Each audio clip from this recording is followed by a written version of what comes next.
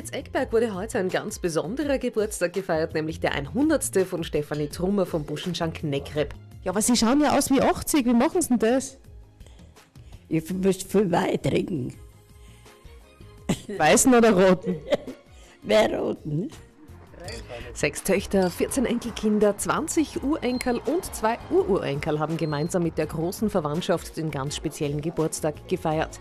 Leicht hatte es Frau Trummer nicht. Der erste Mann verunglückte, als sie zur dritten Tochter schwanger war. Der zweite Mann wurde im Krieg gefangen genommen. Und von der kleinen Selbstversorgerlandwirtschaft hat sie sich ein Familienweingut mit Buschenschank erarbeitet.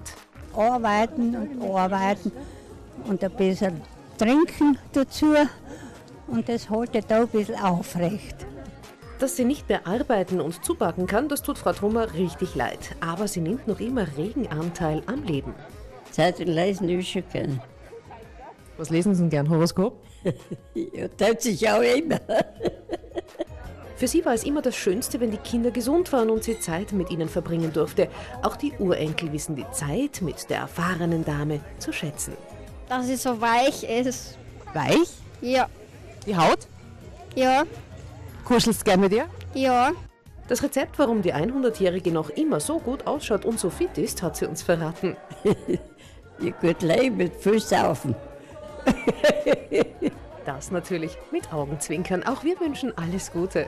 Fritz Eckberg wurde heute ein ganz besonderer Geburtstag gefeiert, nämlich der 100. von Stefanie Trummer vom Buschenschank Neckrep. Ja, aber Sie schauen ja aus wie 80. Wie machen Sie denn das? Ich muss viel Wein trinken. Weißen oder roten? Mehr roten. Sechs Töchter, 14 Enkelkinder, 20 Urenkel und zwei Ururenkel haben gemeinsam mit der großen Verwandtschaft den ganz speziellen Geburtstag gefeiert. Leicht hatte es Frau Trummer nicht. Der erste Mann verunglückte, als sie zur dritten Tochter schwanger war. Der zweite Mann wurde im Krieg gefangen genommen. Und von der kleinen Selbstversorgerlandwirtschaft hat sie sich ein Familienweingut mit Buschenschank erarbeitet. Arbeiten und arbeiten und ein bisschen trinken dazu. Und das halte da ein bisschen aufrecht. Dass sie nicht mehr arbeiten und zubacken kann, das tut Frau Trummer richtig leid. Aber sie nimmt noch immer regen Anteil am Leben. Zeitung lesen ist schon gern. Was lesen Sie denn gern? Horoskop? Ja, tut sich auch immer. Für sie war es immer das Schönste, wenn die Kinder gesund waren und sie Zeit mit ihnen verbringen durfte. Auch die Urenkel wissen die Zeit mit der erfahrenen Dame zu schätzen. Dass sie so weich ist. Weich? Ja, Die Haut? ja, Kuschelst gern mit ihr? ja. Das Rezept, warum die 100-Jährige noch immer so gut ausschaut und so fit ist, hat sie uns verraten.